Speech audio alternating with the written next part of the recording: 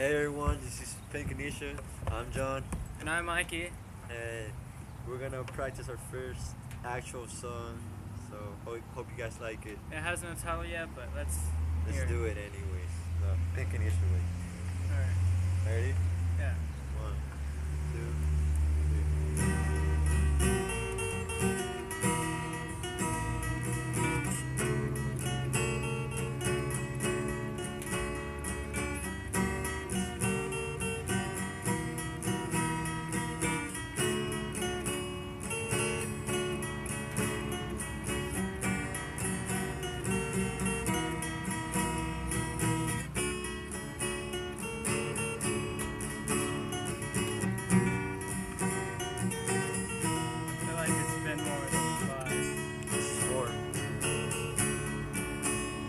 Last one.